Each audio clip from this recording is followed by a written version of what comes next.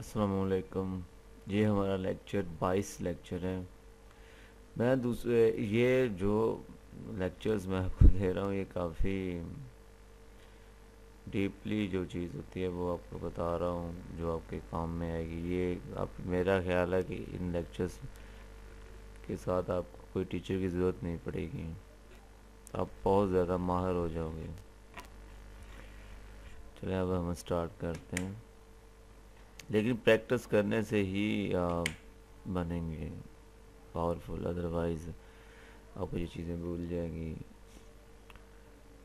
जब हमें ज़रूरत पड़ती है multi line task entry field पहले पिछले लेक्चर्स में हमने टैक्स फ़ील्ड किया था सिंगल लाइन के लिए। जब हमें ज़्यादा टैक्स लिखना होता है तो हम टैक्स एरिया यूज़ करते हैं। ये भी फॉर्म का ही एक हिस्सा है। इसमें हम ज़्यादा से ज़्यादा टैक्स हम लिख सकते हैं।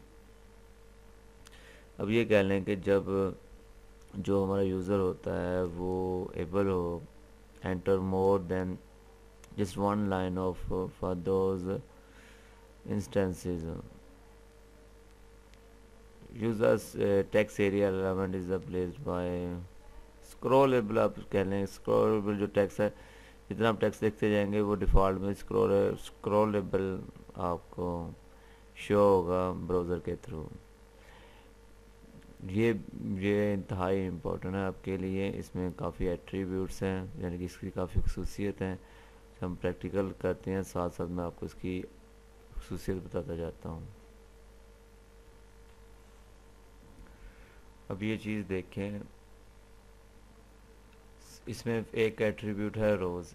ये इसकी विथ है कि कितना, कितने, कि नहीं, ये इसकी विथ है। कितना हमने इसको, इसकी चौड़ाई रखनी है। और इस टेक्स्ट फ़ील्ड की आगे कॉलम्स बराबर इसकी वैल्यू है फिफ्टी लिखी है कि कितनी इसकी हमने हाइट रखनी है। यानी कि आप इसको कॉलम्स को हाइट और रो को विथ कंसीडर करें। उसके बाद हमने इसकी जो वैल्यू उठाने के लिए हम इसको नेम देते हैं कमेंट्स का। कि ये चीज़, जो कमेंट्स है, वो शो होगा जब हमारा मैसेज आगे जाएगा। उसके लिए ये वैल्यू यूज़ होती है। बेसिक तौर पर जब, जो ये वैल्यू जो जितना डाटा होता है वो इस वैल्यू के अंदर जाता है। उसके बाद जो इसमें न्यू एच टी फाइव में जो चीज़ डाली है, वो रिक्वायर डाली है कि पहले ऐसे अक्सर प्रॉब्लम्स होती थी कि हम जावा भी इसको यूज़ करते थे इस काम के लिए रिक्वायर के लिए। कि यूज़र बिना फ़ील्ड ब्लैक ही सबमिट कर देता, लेकिन अब ऐसा नहीं होगा। अब इसको प्रैक्टिकल आपको दिखाते हैं इसका। रिव्यू आपको दिखाते हैं इसका। ये देखें जो जो इसमें था। रिक्वायर फ़ील्ड हमने यूज़ की थी। तो पहले ये नया एच फाइव में फ़ंक्शंस आया है। कि हमने जब इसमें कोई चीज़ भी अगर बिना किसी चीज़ के इसको फॉर्म को जब सबमिट करेंगे तो ये रेड हो जाएगा और साथ लिखेगा प्लीज़ इस फ़ील्ड को। यानी कि ये रिक्वायर हो, होता है। अगर आप रिक्वायर की एट्रीब्यूट्स हटा दें तो ये चीज़ नहीं ये भी एच फाइव में न्यू फ़ंक्शंस आया है।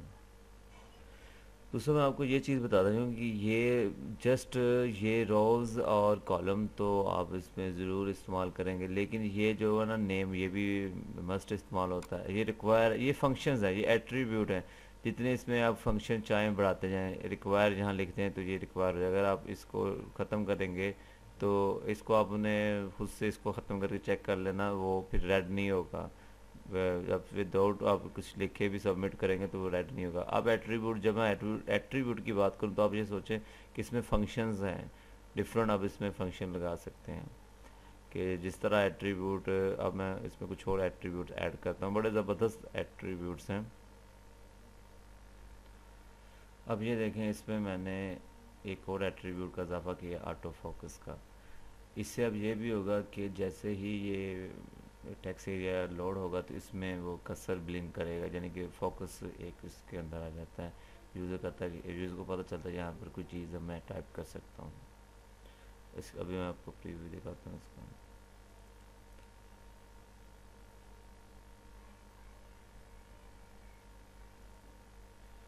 ये देखें, आप गौर करें, ये देखें, कसर जो इसका है, वो ब्लिंक कर रहा है। पहले नहीं था, जब हमने ऑटो फोक्स यानी कि ऑटो फोकस इसके अंदर ऐड किया तो ये ब्लिंक करना शुरू कर दिया इसने। ये देखें। अब इसमें जो बड़ा अमेजिंग फ़ंक्शंस है, जो मुझे बड़ा पसंद है, आपको भी होगा कि मैं चाहता हूँ कि यूज़र कोई कुछ चीज़ हिंट मिले। प्लेस होल्डर जो होता है, यहाँ पर आप कुछ भी लिख सकते हैं। यूज़र को वो पढ़कर पता चल जाए कि यहाँ पर मैंने क्या लिखना है। इसका प्रीव्यू ये चेक कर लेंगे देखें, ये हल्का सा डिम सा है। लाइट से और जब आप इस पर क्लिक करेंगे, ये ख़त्म हो जाएगा। ये देखें, ख़त्म हो गया, जैसे मैंने टाइप किया। लेकिन अगर मैं टाइप ख़त्म करता हूँ तो वो नीचे दिख रहा है। डिस्क्राइब योर सेल्फ है यहाँ से यूज़र को पता चलता है। ये एट्रीब्यूट्स बहुत ज़बरदस्त है। आई लाइक इट आप इसको ज़रूर यूज़ करें, जब भी आप फॉर्म बनाएँ। अब नेक्स्ट एट्रीब्यूट में चलते हैं।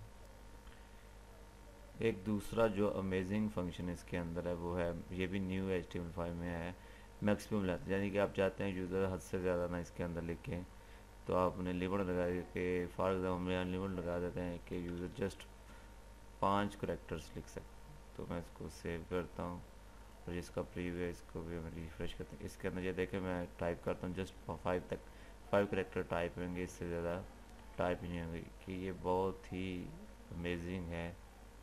आपके लिए ये एट्रीब्यूट अब नेक्स्ट पर चलते हैं। अब ये देखें कि इसके अंदर डिसेबल एक एट्रीब्यूट है। अब एक से ज़्यादा जितने चाहे आप जितने इसमें एट्रीब्यूट बढ़ाते जाएँगे, उतने ही इसमें फ़ंक्शंस बढ़ते जाएँगे। अब एट्रीब्यूट के थ्रू इसमें फ़ंक्शंस डाल सकते हैं।